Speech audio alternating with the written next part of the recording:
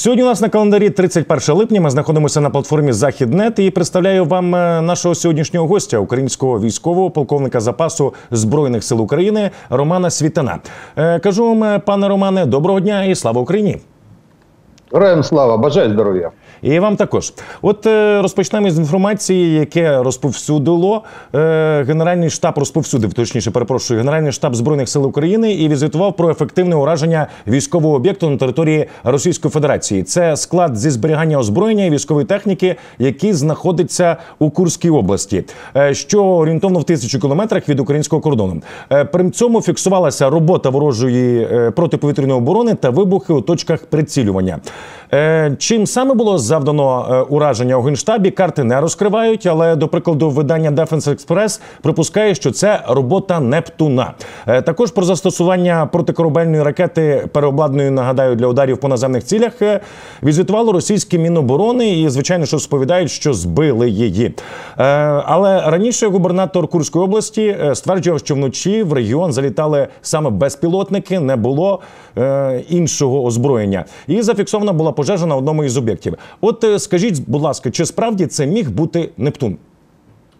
Э, Я, с вашего позволения, чуть поправлю. Не в тысячи километров от э, границы, наверное, в сотни километров от границы. То Напевно, есть, э, сотня заговорився. Дякую. Да, э, это м, был удар, как, по крайней мере, как подтвердил Генштаб, э, удар был со- совместный, произведенный военно-морскими силами э, наших э, войск э, и э, группами э, разведки до разведки. То есть, скорее всего, э, на наше главное управление разведки или разведка службы безопасности Украины с военно-морскими силами выполнила этот удар, а так как у нас в основном ракетное оборудование у ВМС это Нептуны, это береговой ракетный комплекс, так называемый, который сейчас используется в том числе и по земле.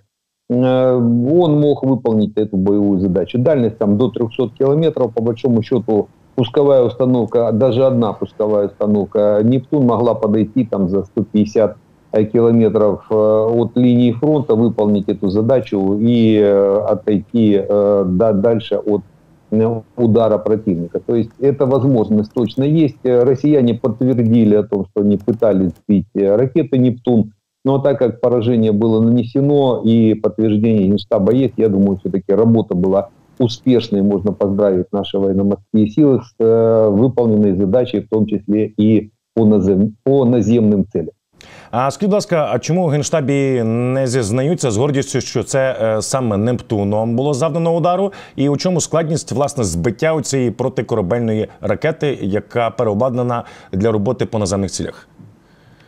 Э, штаб и не должен, в принципе, э, по- подтверждать или опровергать э, некоторую работу. Дело в том, что это все-таки закрытые сведения, даже если они уже есть в открытых источниках. То есть любое такого рода подтверждение, оно дает возможность аналитическим центрам нашего противника, как это отыгрывать по ситуации, давать рекомендации вот для того, чтобы не, дать, не давать этой пищи им для анализа, э, Генштаб это не подтверждает. Но независимые аналитики или э, исходя из определенных механизмов, по крайней мере, нанесения удара, можно, можно определить, э, что это было. Дальность больше 100 километров, это могла быть либо наша ракета «Нептун», либо, допустим, «Атакам» с ракетой М-39. А так как нам не дают возможности работать «Атакамсами», а только М-31 ракетами, а это 80 километров, значит, скорее всего, это «Нептун» и была. Если это была ракета. Но еще раз повторюсь, Э, по- подтвердили российские э, средства массовой информации, российские некоторые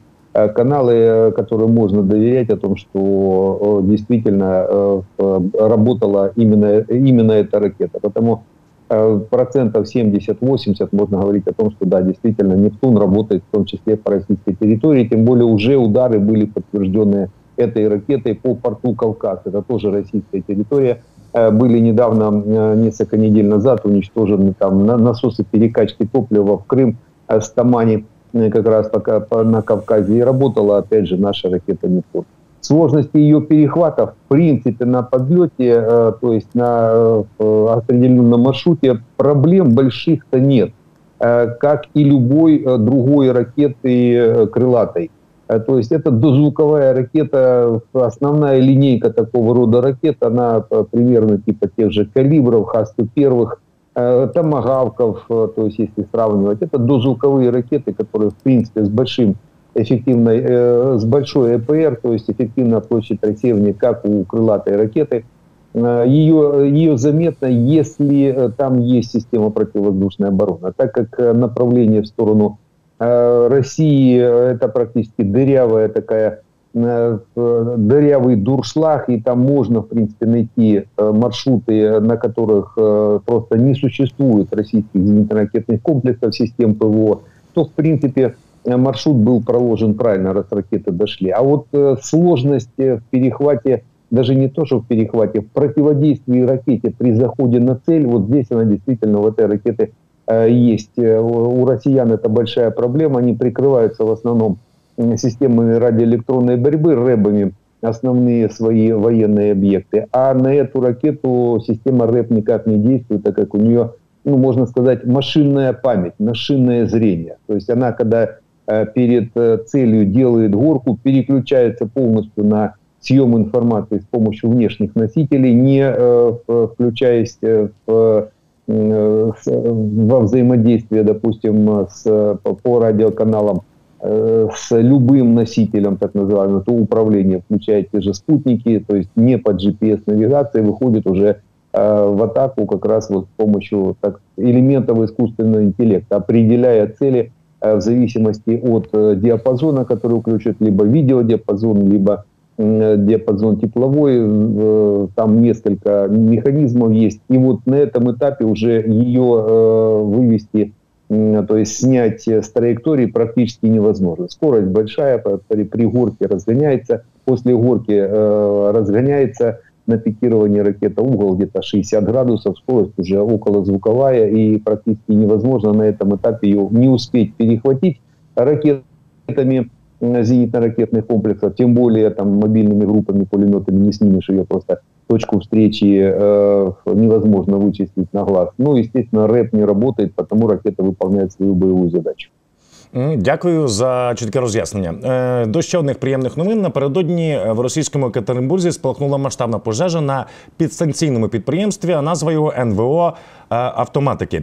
І от за даними тамтешніх змі, зараз демонструється зображення. Спочатку горів дах, е, потім він обвалився і зайнявся цех у середні підприємства і завалилися е, стіни. І ось ця компанія нагадаю виробляє електроніку для ракетоносіїв Союз 2 які дозволяють виводити космічні апарати на е, всілякі типи орбіт. Але крім ракетоносіїв, це от підприємство НПО автоматики. Е, НВО українською е, створено та впроваджено систему управління для пілотованих ракет. Принаймні вони про це звітують протягом останніх кількох років. І е, от як це загоряння може відбитися на військовому промисловому комплексі росіян, що згорів цей цех з союзу 2 і не тільки. У России большая проблема с, с элементами электроники. То есть э, основные платы управление им приходится либо закупать за рубежом, а сейчас довольно-таки большие проблемы санкционные, по крайней мере, либо производить у себя, но это старое советское производство, оно э, не может дать ту точность, которую, допустим, дают э, некоторая элементная база э, зарубежная. Так вот, проблема большая с элементной базой в России сейчас. Провалена полностью программа так называемого импортозамещения и, естественно, те очаги производства элементной базы, которые есть. Ну, они, нашей разведке э, они э, практически все известны, потому дело времени, когда руки наших разведчиков доберутся до этих основных производственных линий. Вот один из механизмов, как добираются и уничтожают, мы сейчас с вами и проговариваем. То есть механизмов, в принципе, уже непосредственно уничтожения много, либо выход э, на сам объект, либо работа теми же беспилотниками. Сейчас они, а так как их можно купить э, на любом рынке э, России и просто снабдить э, системой э, уничтожения какой-то разного уровня, они разные могут быть, э, то э, механизмов очень много, как э, вывести из строя вот такое, э, можно сказать, реперное производство, реперные точки, так называемые, в производстве, в общем технологическом цикле производства тех же э, спутников, ракет э, и э, систем воздушных систем поражений.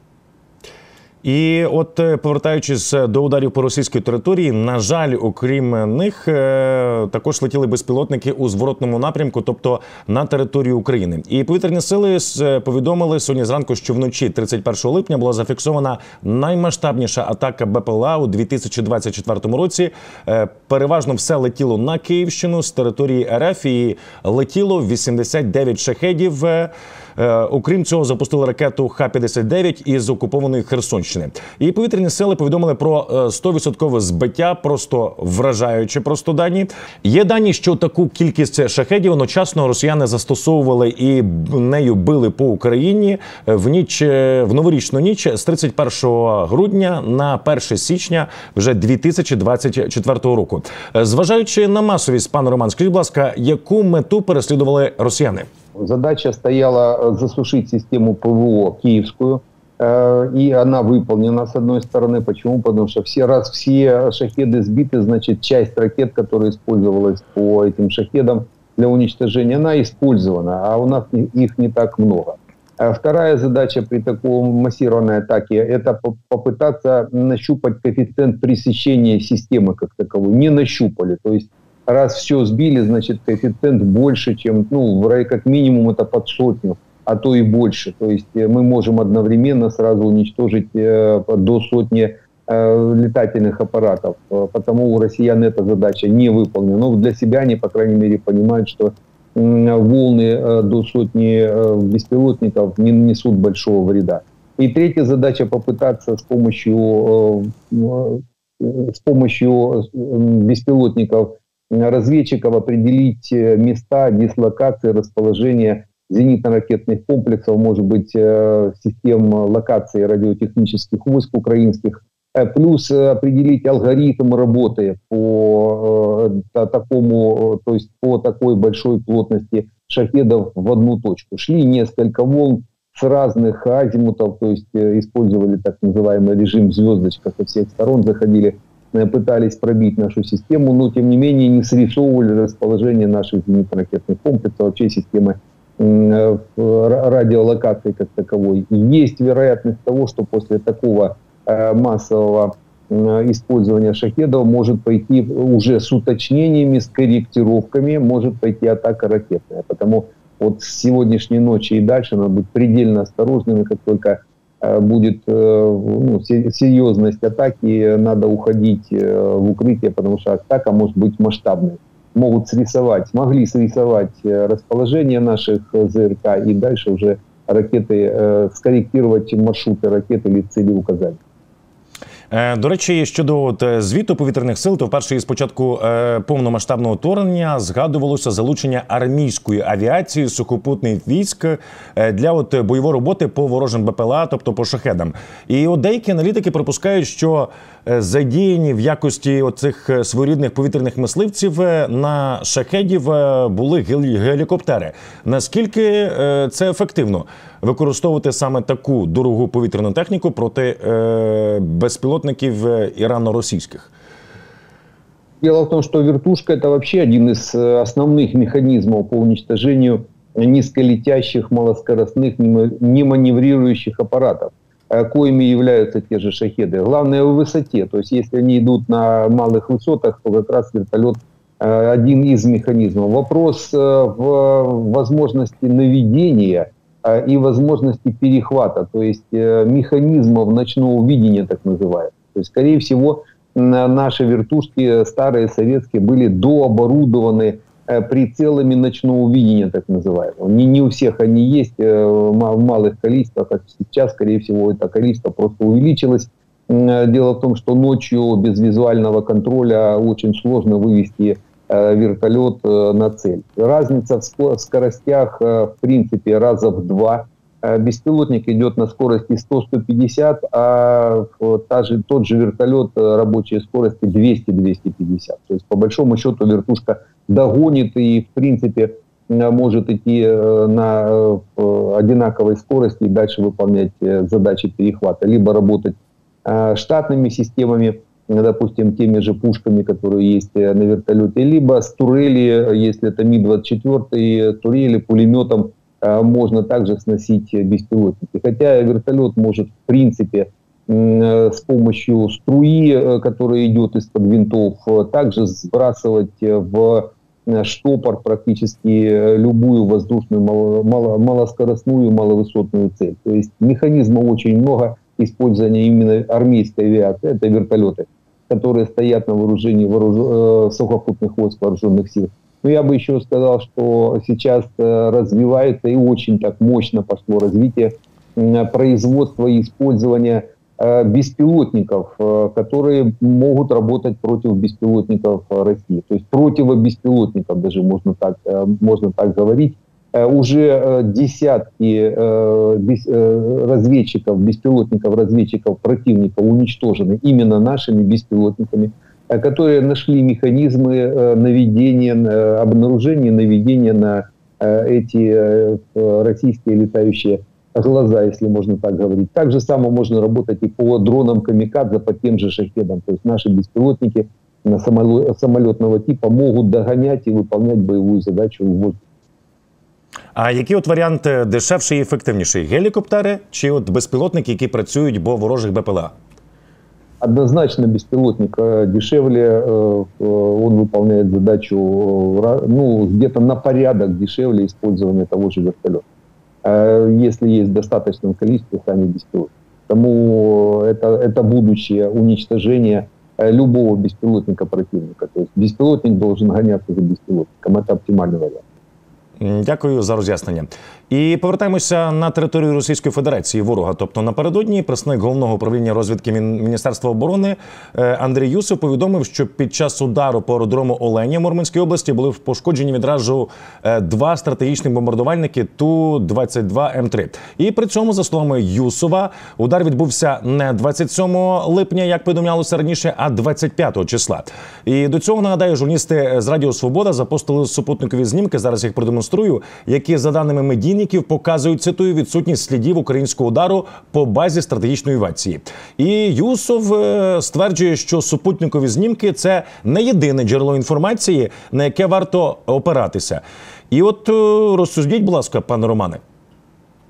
Е, дело в том, что главное управление разведки, когда передает информацию, оно, оно ее снимает как минимум с трех источников. С одного источника они никогда ничего не передадут. Три источника должны быть независимых. После этого ГУР может подтвердить или опровергнуть э, какую-то информацию. Если Юсов говорит о том, что уничтожено или повреждено как минимум э, два э, Ту-90, Ту-22, это так оно и есть. Повреждения, они не всегда видны, тем более на, космических, на спутниковых снимках. Повреждения даже от взрыва рядом, допустим, того же беспилотника, повреждения боевой частью или э, те, теми э, частями поражения, которые есть у беспилотника, они наносят, наносятся самолету, э, причем после таких повреждений самолет может вообще больше не летать, то есть его просто не допустят к полетам, так как то те повреждения уже никто на себя из инженерно-технического состава не возьмет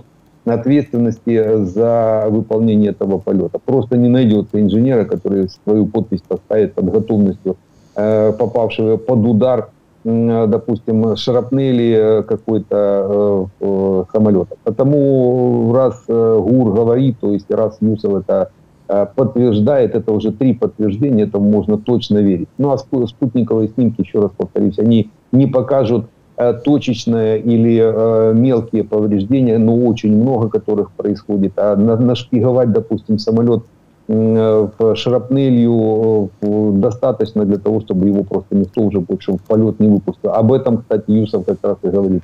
Не уничтожение, а повреждение э, самолета. Но еще раз повторюсь, после такого рода подтверждений самолет уже летать не будет. Э, максимум это они могут пойти как «Авроры» на разборку э, тех узлов и агрегатов, которые еще могут выполнять боевые задачи.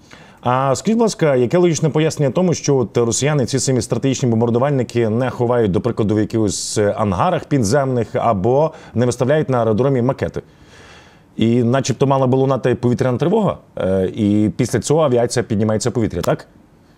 Ну, макеты точно выставляются, они рисуют и там наклеивают фотографии большие, бывает и такое, и макеты выставляются, то есть э, пытаются они как-то обезопасить, но только не на таких дальних. почему они оленю выбрали, допустим, и несколько аэродромов таких есть.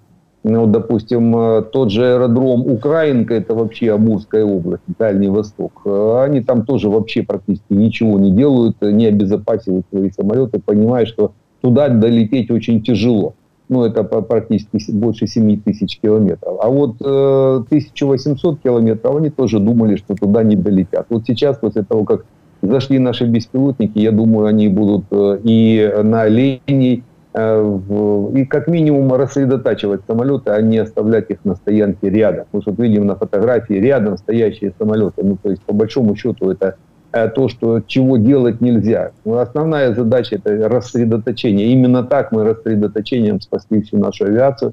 В первые, э, в первые дни или часы э, удара российского. И дальше до сих пор мы как раз в таком режиме рассредоточения ее уводим из-под удара. Мы, у нас просто ее немного, и у нас нет таких тяжелых и больших самолетов, как Ту-95, Ту-160 или Ту-22. Ту-22 это довольно-таки Э, большая машина, ее очень сложно спрятать, допустим, в ангар. В ангар может зайти, ну, там, Су-25, там, МиГ-29, а Су-27 и то уже с, с проблемами. А Ту-95 в ангар загнать э, довольно-таки сложно, тем более под землю. Потому их оставляют снаружи, в основном прикрывая аэродромное поле с помощью серьезной системы противовоздушной обороны. Но валение они ее не могут э, создать, так как им не хватает зенитно-ракетных комплексов Э, в районе того же Керченского моста, Крыма на линии боевого соприкосновения. Сейчас уже и в Курской, Брянской, и э, э, областях Воронежской, Ростовской и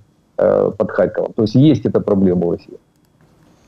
Окей, учора з'явилася інсайдерська стаття від Wall Street Journal, в якій стало відомо про те, що Вашингтон погодився Е, обладнати винищувачі F-16, е, які опиняться на балансі е, України ракетами американського виробництва. І це ракети AGM-88 Харм класу повітря-повітря, та також керовані бомби підвищеної дальності J-DAN та малогабаритні високоточні боєприпаси. І також є інформація, що планують передати ракети класу повітря-повітря середньої дальності AM-RRM та малої дальності AIM-9X. І от в виникає логічне запитання, коли я прочитав цю статтю. Е, а чим до цього збиралися озброювати винищувачі F-16, е, якщо не американськими ракетами?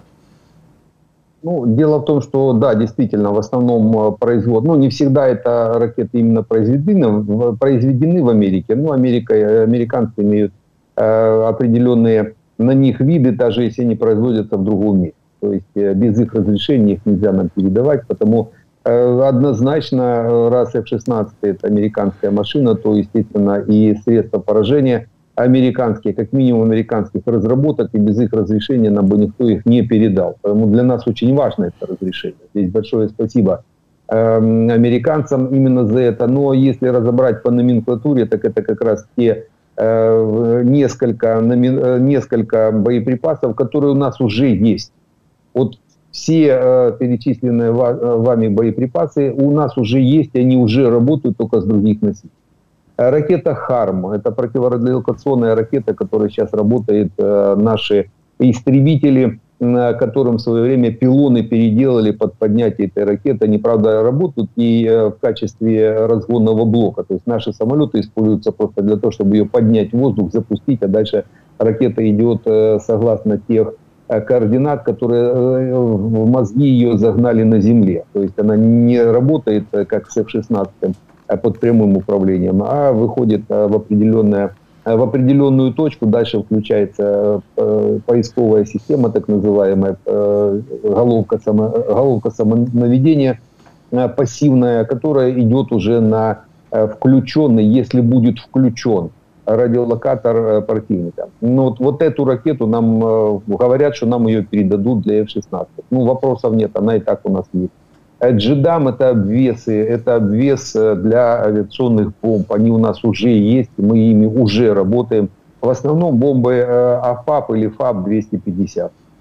Тоже с наших бомбардировщиков, истребителей мы их сбрасываем. Довольно-таки точные, хорошие Э, хорошая система, ну, можно сказать, кабы всем известные. То есть это такой же кап российский, только джедам называют э, американского производства, но, но авиационные бомбы наши. Допустим, GLSDB, планирующие бомбы малого калибра, это GBU-39, мы ими уже работаем, у нас МиГ-29 также могут их нести, и мы ими работаем довольно-таки успешно. Ну, еще F-16 ими будут работать, то есть по большому счету это понятно.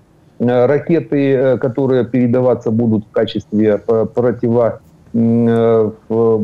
авиационных целей, то есть АМ-120 ракета, так мы тоже ею работаем. Это ракета воздух-воздух, но она используется в насамсах, то есть земля-воздух, это зенитно-ракетные комплексы, которые приспособили эту ракету для пуска с земли, но это будет F-16 работать. И ракета АМ-9 Сауды-Индер – это ракета с тепловой головкой наведения малой дальности, которую мы тоже используем в некоторых так называемых гибридных э, зенитно-ракетных комплексах. На данный момент она это тепловая головка, это практически головка наведения типа стингера, только с дальностями больше 10 километров. Э, Ее также может нести F-16 и работать в основном в ближнем бою, э, естественно, не встретиться с российскими самолетами, но этой ракетой можно уничтожать крылатые ракеты противника или те же шахеды, в зависимости от задач. Потому весь спектр того, той номенклатуры у нас уже есть. Ничего нового там, по крайней мере, нет. Э, может, это туман войны, так называемый, то есть нам не показывают то э, вооружение, которое еще может, э, вернее, нам передадут и вообще, которое может нести F-16. F-16 может нести 120 номенклатур разных видов вооружения. 120. Сейчас мы назвали только 5. І продовжуючи тему F-16, е, сьогодні рівенські волонтери з організації е, АПЕЙТ у себе на сторінці опублікували світлину з макетом е, власне американських винищувачів. І от зараз її продемонструю, як це виглядало. Окрім самої фотографії про макет нічого не відомо, як і з якого матеріалу був він виготовлений. А щодо цієї рівенської організації АПЕЙТ і волонтерів, то ця команда нагадаю спеціалізується на створенні саме муляжів різноманітної техніки та зброї, які на 90 або 100% відповідають реальним розмірам. От в каталозі навіть є е, макети мінометів і е, терміналів Starlink, що цікаво. Але повернемося до муляжів саме F-16. От е, цікавить, наскільки їхнє застосування може захистити, обманути від російських ударів. В принципі, метод ефективний. Очень эффективный. И большое спасибо тем специалистам, которые взяли на себя Э, эту ношу создавать макеты. Очень эффективный. Э, примерно минимум надо создавать один к трем. То есть если нам придет там э, сотня допустим, самолетов, то надо как минимум 300 макетов. Ну, а это, конечно, один к 5, один к 7 по количеству. Тогда российские средства, дальники российские, ну, даже просто Э, исходя из определенных формул математических, они запарятся, в конце концов, доставать до F-16. Это практически нереально, а мы вытащим их э, дорогие, дорогие ракеты. Вряд ли это будут ланцеты. Почему? Потому что, ну, ланцет, основная дальность ланцета, пусть это 40 километров, ну, пусть, допустим, дотянули они там до 70-80 километров. У нас не будут стоять F-16 на дальностях 70-80 километров от линии боевого соприкосновения или от линии границы. Боевой радиус F-16 начинается от 500 километров и дальше в зависимости от топлива подвесных топливных баков. То есть, по большому счету, э, его можно за 300 километров, за 500 километров от линии фронта располагать, и добраться до него могут только либо крылатые ракеты, либо шахеды, либо, допустим, баллистика типа того же кинжала или искандера, если близко подойдут. Ну, а для этого им надо прицелиться. То есть для этого надо, чтобы повисел, допустим, либо спутник э, снял э, расположение, а спутники чаще пяти часов не проходят. То есть э, если каждые пять часов перемещать макеты с места на место, россияне просто не смогут прицелиться. А когда даже и смогут, то попадут по макету. То есть здесь помимо того, что будут расположены макеты как таковые, их надо еще перемещать по летному полю. Это очень важно. Не сам, то есть не просто сделать макет, а он должен двигаться. Каждые пять часов эти макеты надо перемещать, э, чтобы картинка у россиян постоянно была как мозаика, чтобы они не могли прицелиться. Потому э, в таком режиме вот э, с использованием в том числе и этих усилий по производству макетов мы прикроем наши F-16 от российских ударов. Приємні новини і приємне, що ви так роз'яснили цю інформацію. Е, окей, щодо союзників нашого ворога йдеться про північнокорейців у тематичних телеграм-каналах. От зараз шириться інформація про те, що росіяни почали застосовувати на фронті е, ще один е, вид пхенянінської зброї. Йдеться про самохідний протитанковий комплекс Булсай 4 і його виявила українська розвідка на одному із напрямків, коли він перебував на відкритій місцевості. Ось перед цим, ось як це виглядало. І попри це, речник е, оперативно-тактичного угруповання Харків Віталій Саранцев спростовує цю інформацію і каже, що підтвердження надходження саме цієї машини на баланс російської армії, також знаходження її на фронті, немає.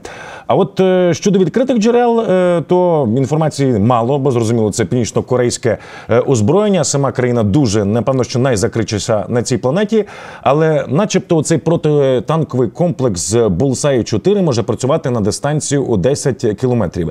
Е, пане Роман, можливо, ви володієте більшою кількістю інформації, як він працює і на яку відстань?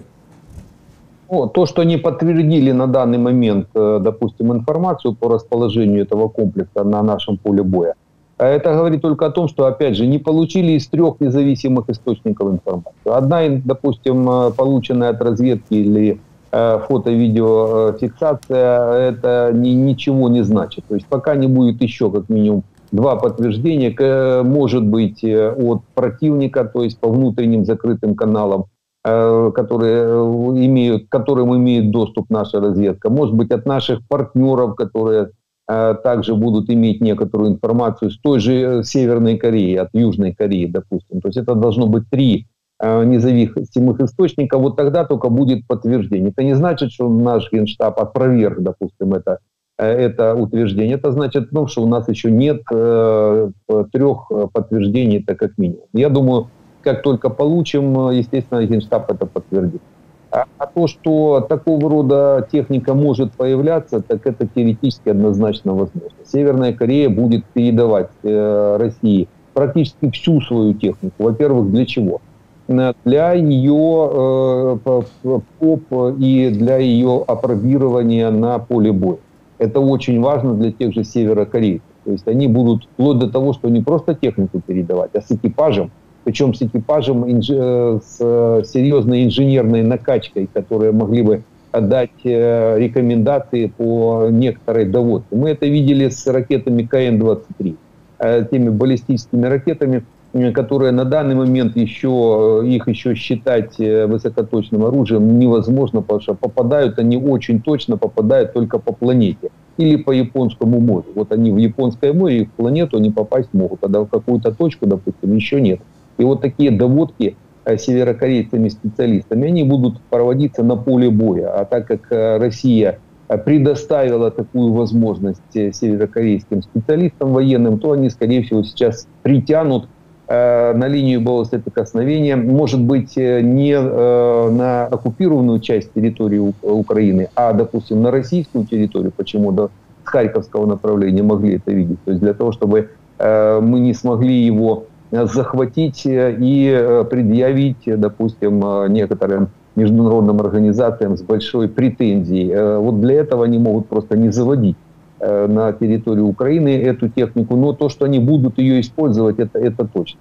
Э, это выгодно с точки зрения военной, военного производства. Эта машина, э, ну, это, в принципе, рядовая система ПТУР, противотанково управляемые ракеты, 8 пусковых установок, вот, да, это то есть шасси, колесное шасси, 8 пусковых установок, оператор управляет ракетой до точки Э, выхода на цель э, через видеокамеру по оптоволоконному кабелю. То есть э, ракета, когда выходит из пусковой установки, она тащит за собой кабель. И, допустим, вопрос по 10 километрам, по некоторым позициям дают 15-25 километров, ну слишком тяжелый кабель, он обрывается. Он, мы, когда работаем, у нас тоже несколько есть, несколько есть туров, Э, именно с кабелем, который, ну, часто обрываются кабель. И так это там 4-5 километров, представьте, 10 километров тащить, тащить кабель оптоволоконного. А потому, скорее всего, машины есть, но ТТД их довольно-таки э, преувеличены. Ну, 5, 6, 7 максимум, и то это уже на излете. это по дальности. Опять же, на такую дальность подойти к танку, допустим, практически невозможно. Танк быстрее определит и отминусует. Плюс достаточное количество FPV-дронов, которые сейчас у нас есть, не дает возможности россиянам на мотоциклах даже подъехать, подтянуться к нашим позициям, не говоря уже о такого рода технике. Максимум, что они могут сейчас использовать, это САУ с дальностями там, в 25 километров. Это, это да. А эту технику э, такая же будет участь ждать, как и те же санцепеки с 6 километрами дальности. Их просто будут минусовать наши FPV-дрочки. І на завершення до приємних новин сьогодні у себе телеграм-каналі бійці е, Чернігівського руху опору візитували про ліквідацію групи російських офіцерів спецпризначенців із центру Сєніж. І подія нагадаю відбулася 28 липня у Семенівському районі Чернігівської області. Е, п'ять бійців цього Сєніжу намагалися замінувати українську землю, потрапили у засідку і були знищені саме Чернігівським рухом опору. І російські телеграм-канали повідомляють про що про те, що е, так звану еліту послали на завдання командири аби вислужитися і отримати підвищення. Е, а щодо Сєніжу, то представники цього центру вважаються однією з найпрофесійніших на Росії складових е, сил спеціальних операцій.